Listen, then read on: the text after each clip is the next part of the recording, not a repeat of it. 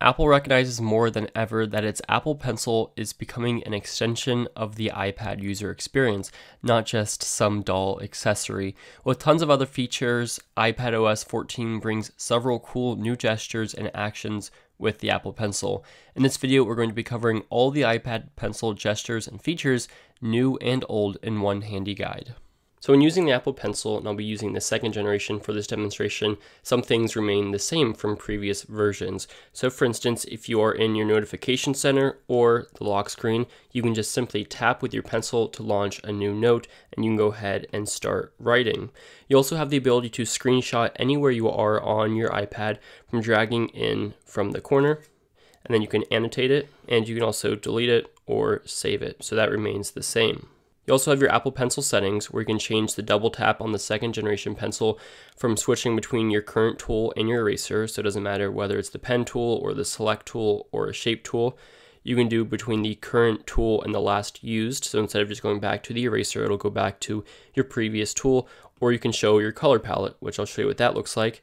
If you're writing and you double tap, it'll bring up the color palette where you can quickly select a new color, which is kind of nice, but you also already have the color palette toolbar down here, so it's not totally useful all the time. But now you also have the Scribble feature, which is brand new for the iPad. And Scribble allows you to basically handwrite anywhere you are on the operating system instead of physically typing with a keyboard. So if you are not using a keyboard, this is going to be a great feature because you can just quickly write as you're using your pencil. If you have a keyboard, this isn't going to be faster, but it could be more convenient. It also gives you the ability to delete text just by scratching it out.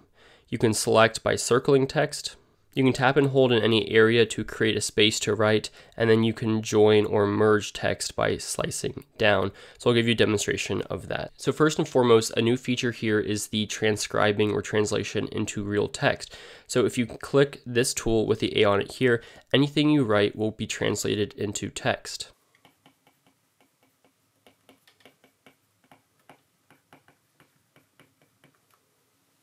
And you can see that it translated it into text. Now I can use some of those gestures that it gave me before. So I can go down to either separate or join letters. As you can see here, I'm separating a test, just like that.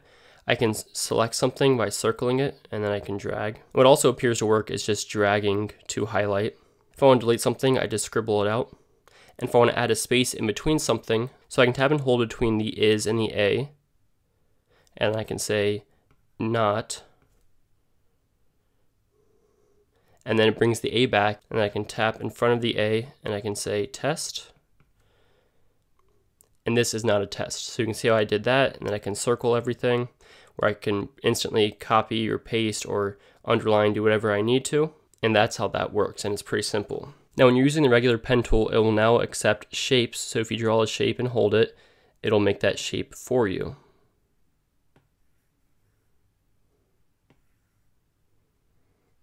And it also works for straight lines.